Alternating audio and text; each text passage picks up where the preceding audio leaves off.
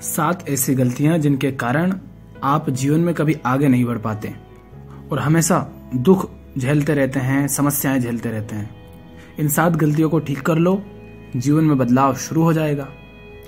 पहली गलती यह है कि जो कल किया था, वही आज कर रहे हैं और सोच ये रहे हैं कि कुछ बदल जाएगा। इसका अर्थ क्या है? बुद्ध ये कहते हैं कि यदि आपसे कोई पाप, कोई गलती हो गई है, कोई दुष्कर्म हो गया है तो उसे बार बार ना दोहराएँ। क्योंकि इस संसार में ऐसा कोई भी व्यक्ति नहीं है जिसने अपने जीवन में एक भी गलती ना करी हो।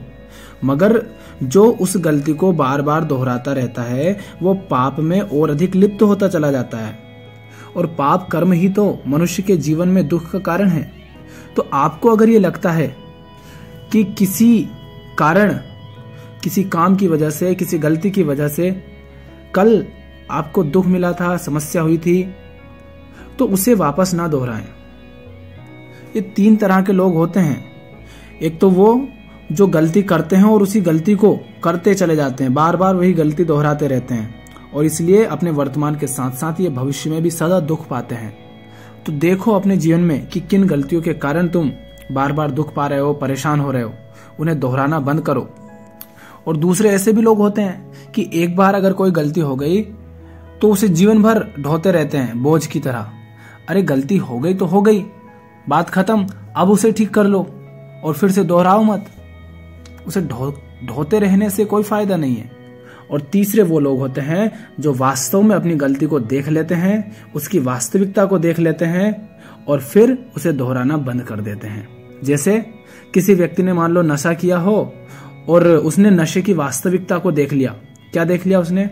उसने ये जान लिया कि नशा हमारी समस्याओं को, हमारे दुख को खत्म नहीं करता है। बस ये हमें थोड़ी देर के लिए उस दुख से मुक्ति दे देता है, क्योंकि हम नशा करते हैं तो हम उस बात को भूल जाते हैं थोड़ी देर के लिए तो मन शांत हो जाता है। किंतु नशा करने के बहुत सारे नुकसान होते हैं और दुख से फिर भी मुक्ति नहीं मिलती। तो व्यक्ति ने अगर एक बार गलती की है तो वो उसे देख लेगा कि ये गलती अब नहीं दोहरानी है। तो जो व्यक्ति इस तरह से अपनी गलती की वास्तविकता को देख लेता है, वो दोबारा गलती नहीं करता है। दूसरी गलती ये जो हम करते हैं, जिसके कारण हमें दुख मिलता है, वो ये है कि आप हर क्षण कुछ ना कुछ कर रहे होते हैं। किंतु आपको ये ज़रूर जान लेना चाहिए कि आप जो कुछ भी कर रहे हैं, उसका प्रभाव आपके जीवन पर अवश्य पड़ेगा, क्योंकि हर क्रिया की प्रतिक्रिया होती है। इसको ऐसे समझो। बुद्ध ने यह कहा है कि धरती, आकाश, पाताल, समुद्र और इस संसार में ऐसी कोई भी जगह नहीं है जहाँ व्यक्ति अपने कर्मफल से बचने के लिए छिप सके। तो इसलिए आपको क्या करना है? आप जो कुछ भी कर रहे हैं अपने जीवन में, आपको उस काम पर ध्यान देना है कि जो कर रहा हूँ, क्या वास्तव में वो करने लायक है भी या नहीं? अगर आप जो कर रहे हैं, आपको नहीं पता कि वो करने लायक है या नहीं है, और अपने अज्ञान में अगर आपने कुछ गलत काम कर दिया तो जिस प्रकार माचिस की एक छोटी सी तीली पूरे जंगल को जलाना शुरू कर देती है, वैसे ही आपके द्वारा किया गया छोटे से छोटा पाप भी आपके जीवन को नरक बनाना शुरू कर देता है। और अगर आप उसे बार बार दोहराते रहते हैं तो आपका जीवन पूरी तरह बर्बाद होने लगता है। तो जो आप कर रहे हो, उसको देखिए कि क्या वो सही है या नहीं, करना चाहिए या नहीं करना चाहिए। तीसरी गलती जो कभी मत करना, वो ये है कि अपने आप को कभी ये मत समझ लेना कि आप सदा यहाँ रहेंगे। आपकी मृत्यु निश्चित है। कोई भी यहाँ पर अमर नहीं है। क्योंकि जब हम इस बात को ध्यान नहीं रखते तो हम अपने समय की बर्बादी करते हैं, व्यर्थ कामों में समय बर्बाद कर देते हैं। और जो सही काम करने लायक होते हैं, उन्हें नहीं करते, उन्हें टालते रहते हैं। और जब समय नहीं बचता, तब हम कहते हैं कि काश थोड़ा समय और मिल जाता। तो इस भ्रम में ना रहें कि आप सदा रहेंगे। बुद्ध कहते हैं कि सब कुछ जल रहा है, सब कुछ नष्ट हो रहा है, परंतु तुम्हें हँसी और आनंद सूझ रहा है। तुम अंधकार में होकर भी उजाले की खोज नहीं करते हो।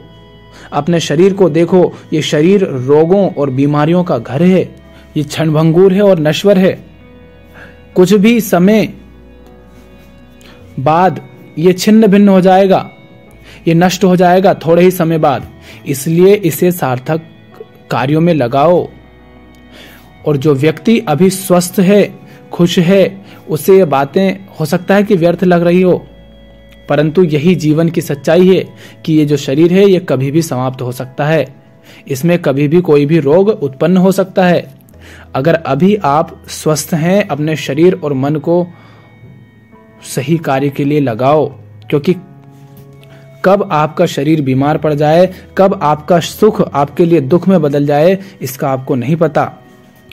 दुख कहकर नहीं आता है, इसलिए जीवन को सही कार्यों में लगाओ। इस जीवन का, इस समय का सदुपयोग करो, क्योंकि तुम यहाँ सदा नहीं रहोगे। सही जीवन जियो अच्छा जीवन जियो, सुंदर जीवन जियो। चौथी गलती जो हम करते हैं, चौथी बात जो हमें याद रखनी चाहिए वो ये कि सही काम करने के लिए मेहनत लगती है। कष्ट सहना पड़ता है। कुछ भी काम अपने आप नहीं होता, गलत काम अपने आप हो जाएँगे, ज़्यादा मेहनत नहीं करनी पड़ेगी। तुम्हें अगर सुबह जल्दी उठकर व्यायाम करना हो, या ध्यान करना हो, या एकांत में बैठना हो, या कोई सही काम करना हो तो उसके लिए बहुत मेहनत लगेगी। तुम्हें आलस त्यागना होगा, तुम्हें साहस दिखाना होगा, तुम्हें कष्टों को सहना होगा। किंतु कोई तुमसे कहे कि मिठाई खा लो गप मार लो सो जाओ तो इन सब में तुम्हें समस्या नहीं होगी। ये सब तो तुम बड़ी आसानी से कर लोगे। तो ये बात ध्यान रखें कि सही काम करने के लिए मेहनत करनी होगी। अपने आप कुछ नहीं होगा। तो इसलिए अपने जीवन में बड़े कामों को चुनो और उन पर अपना समय लगाओ, अपना परिश्रम लगाओ।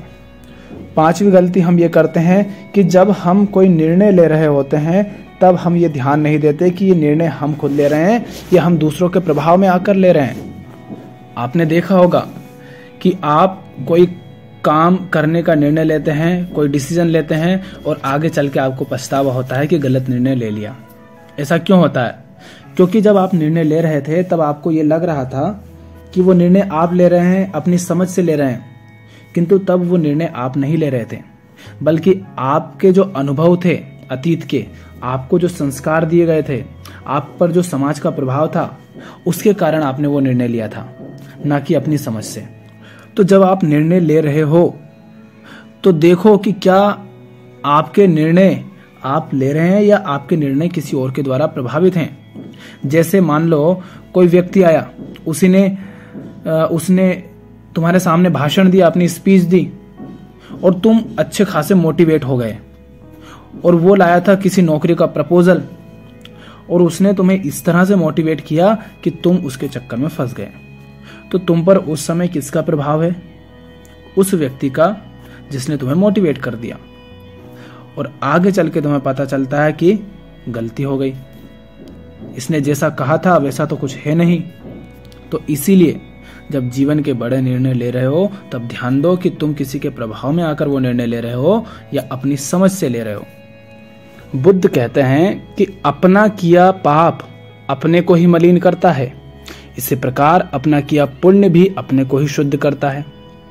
प्रत्येक व्यक्ति की शुद्धि और अशुद्धि अलग अलग है। एक व्यक्ति दूसरे को शुद्ध नहीं कर सकता तो नहीं कर सकता। लेकिन इसका अर्थ यह नहीं है कि दूसरा आपका सहयोग भी नहीं कर सकता। अगर आप ऐसे लोगों के साथ रहते हैं जो खुद ही शुद्धि पर कार्य नहीं करते तो आप भी नहीं करेंगे।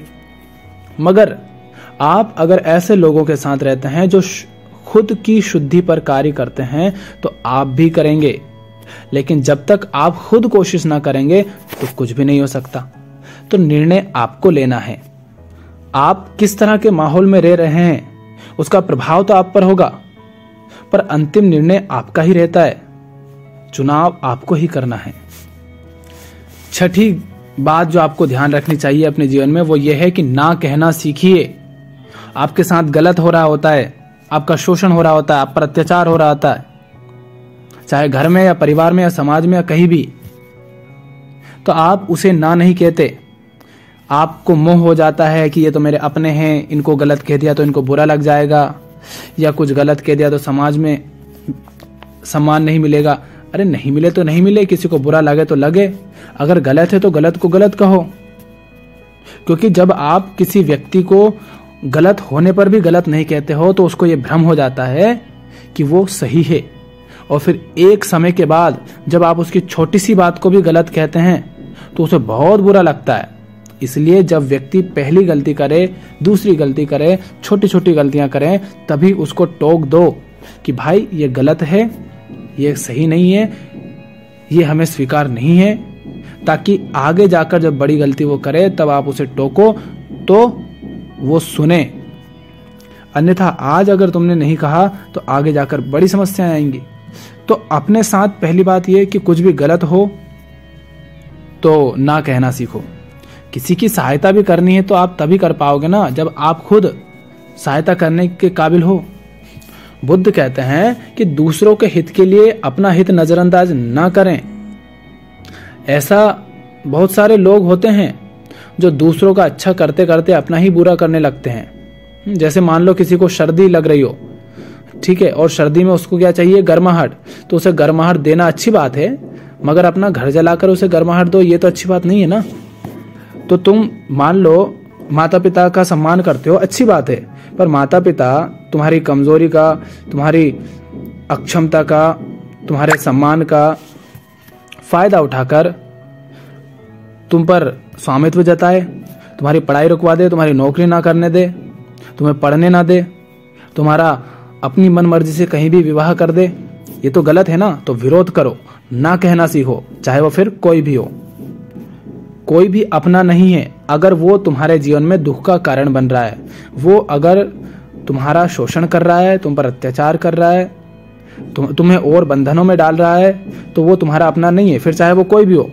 हम्म? जब भी लगे कि कोई अपना बन करके गलत कर रहा है तो उसे ना कहना सीखो सातवीं गलती या सातवीं बात जो ध्यान रखनी चाहिए कि दूसरों की बुराई से ज़्यादा अपनी भलाई पर ज़ोर दो हम जब कहते हैं लोगों से कि ऐसा मत करो, ये गलत है, वैसा मत करो, ये गलत है, या आपसे भी जब कहा जाता है तो आप क्या कहते हैं? आप यही कहते हैं ना कि मैं अकेला अगर ठीक हो गया तो इससे क्या फ़र्क पड़ेगा? यही कहते हो ना? किसी पुलिस वाले से बोलो कि भाई, रिश्वत मत ले तो वो कहेगा, मैंने नहीं ली तो इससे क्या फ़र्क पड़ेगा? इतनी बड़ी दुनिया तो लेती है। किसी और व्यक्ति से कहो कि ऐसा गलत काम मत कर तो वो क्या कहेगा? यही कहेगा वो भी। कि मेरे सुधर जाने से क्या होगा? हम क्या करते हैं? हम खुद नहीं सुधरते हैं और इसके लिए हम बहाना बना लेते हैं संसार का। तो ऐसा ना करो। आप दुखी हैं तो आपके दुख से संसार को कोई फ़र्क नहीं पड़ता। आप मर रहे हो, घुट रहे हो अंदर ही अंदर, आपको पीड़ा है तो संसार को फ़र्क नहीं पड़ता ना। इसी तरह अगर आप ठीक हो जाएँगे तो चाहे संसार को फ़र्क पड़े या ना पड़े, आप पर उसका असर ज़रूर होगा। आपकी ज़िंदगी ठीक होगी। तो ये इंतज़ार ना करें कि दूसरा सुधरेगा। अपने आप को सुधारें, अपने जीवन पर ध्यान दें। दूसरे गलत हैं इसका अर्थ ये तो नहीं ना कि हम भी गलत ही हो जाएँ।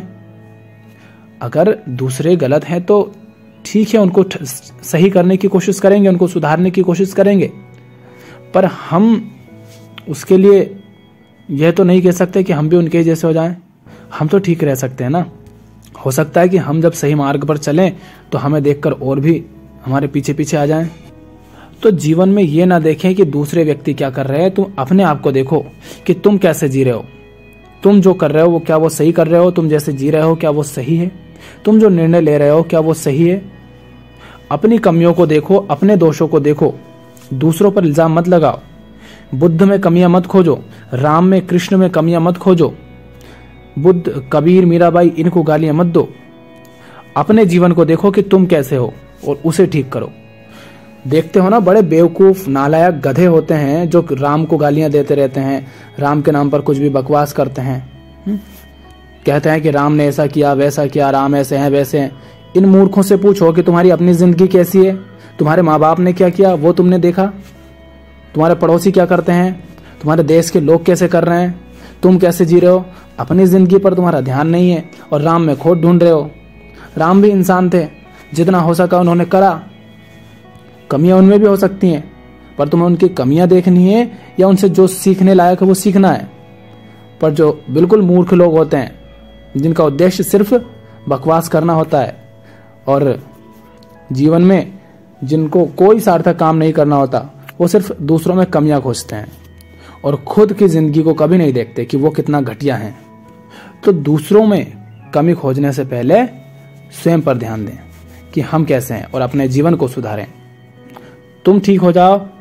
अपने आप तुम तुम में ताकत आएगी कि तुम दूसरों को भी बदलने लगे हो। दूसरे भी तुम्हें देखकर सुधरने लगे हैं। तो ये सात बातें अपने जीवन में ध्यान रखें।